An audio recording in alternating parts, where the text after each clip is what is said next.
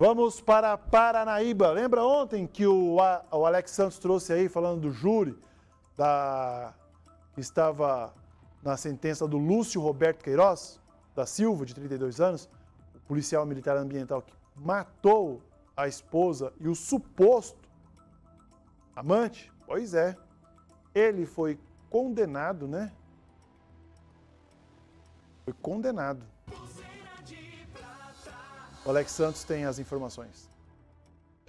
O policial militar ambiental Lúcio Roberto Queiroz foi condenado a 32 anos e 8 meses de prisão em regime fechado pelos homicídios de Regiane Rodrigues de Araújo e também do corretor Fernando Henrique Freitas, cometido no dia 5 de outubro de 2019 em Paranaíba. Os jurados entenderam que o crime contra Regiane não foi feminicídio e por isso esta qualificadora foi descartada. Lúcio ainda perdeu o cargo de militar e também o poder familiar e terá ainda que pagar 30 mil reais para descendentes e ascendentes das vítimas.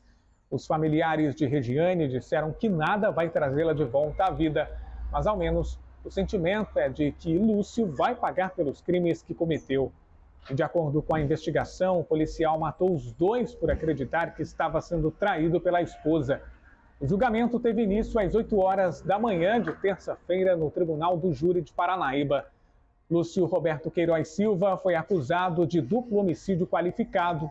Ele seria julgado em 2021, mas o julgamento foi suspenso por conta da realização de um laudo de insanidade mental. O júri foi presidido pelo juiz Edmilson Ávila e dos sete jurados, quatro foram mulheres e três homens. Também trabalharam na acusação o promotor Leonardo Palmerston e a advogada assistente Diana Strege. Já na defesa, o advogado José Rosa acompanhou Lúcio desde o começo do caso.